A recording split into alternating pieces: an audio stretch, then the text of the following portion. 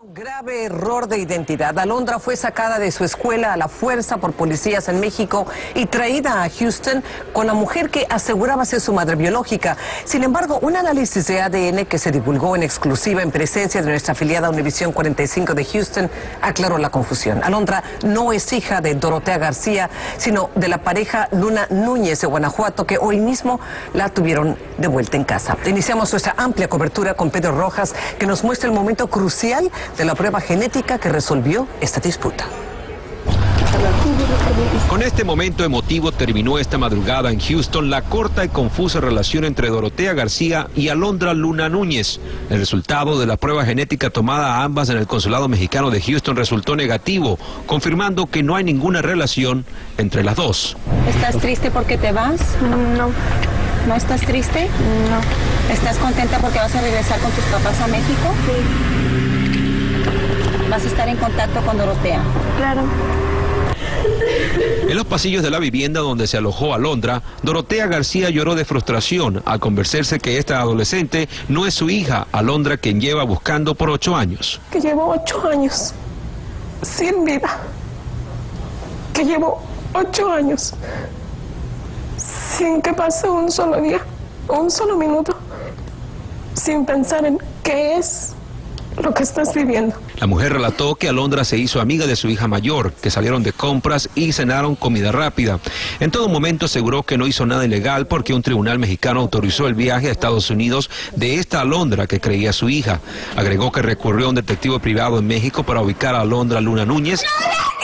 Y el Departamento de Estado y la Interpol se tomaron más de tres semanas en responder a su solicitud de asistencia. Nunca se hace un acto sin antes haber una investigación. Yo no me la robé, a mí me la entregaron. El pasado sábado, Dorotea García y Alondra Luna acudieron a una de las oficinas de atención a la familia del gobierno de la Ciudad de México para hacerse un examen de ADN. El domingo viajaron al Consulado de México en Laredo, Texas y luego partieron rumbo a Houston. Al día siguiente se realizaron una segunda prueba de ADN en el Consulado Mexicano en Houston y hoy les revelaron los resultados negativos de esa prueba, por lo que Alondra Luna fue repatriada hoy a León, Guanajuato. Yo traté de abrir mi corazón completamente, consciente de que al ver la insistencia de la familia Luna Núñez, yo ya estaba llevando un riesgo en que pudiera ser ah, que me traje a una niña que no era la mía. El proceso de repatriación hacia México de Alondra Luna Núñez comenzó por este aeropuerto de Houston y según el comunicado oficial, la menor viajó acompañada de personal consular. Abrir otra vez mis brazos y dejarla ir.